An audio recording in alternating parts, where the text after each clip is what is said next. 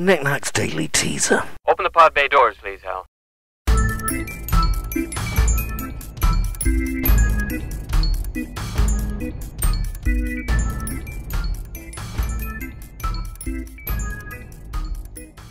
Q1, 20th May, 1570, saw Abraham Ortelius publish the world's first modern book.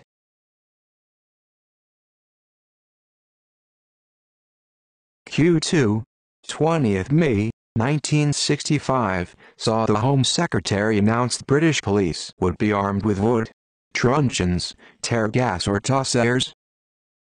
Q3, 20th May, 1521, saw Ignatius of Loyola wounded in battle, which Roman Catholic order did he found? Q4, 20th May, 1891, saw the first demonstration of the kinetoscope. Who invented the kinetoscope?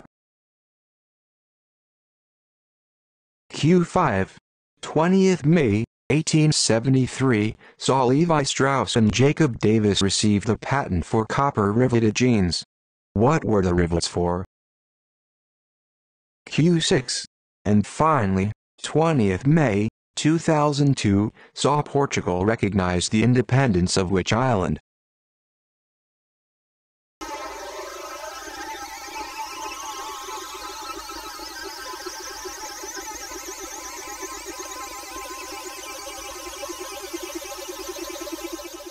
Questions said by Paul Knickknack Downie and released under the Creative Commons Attribution Share Alike 3.0 unported license.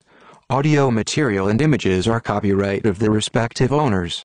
The presentation was written on a Mac Mini, with Mac OS 10.6.8, using iWorks 09 and iMovie 08.